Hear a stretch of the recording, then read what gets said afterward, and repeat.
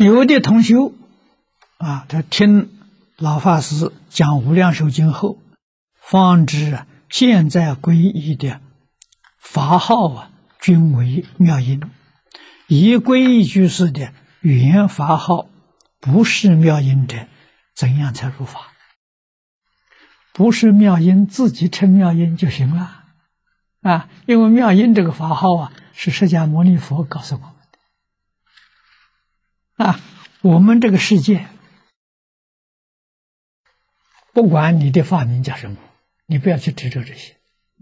念佛升到净土之后，在净土里，就是在极乐世界，你把妄想、分别、执着通通断掉了，你在那里成佛。成佛之后，到十方世界教化众生，你的德号叫妙音如来。啊，同名同号都叫妙音如来，所以我们就用妙音呢做现在因地上的名号。啊，现在是妙音居士，将来到极乐世界是妙音如来。啊，因果都相同。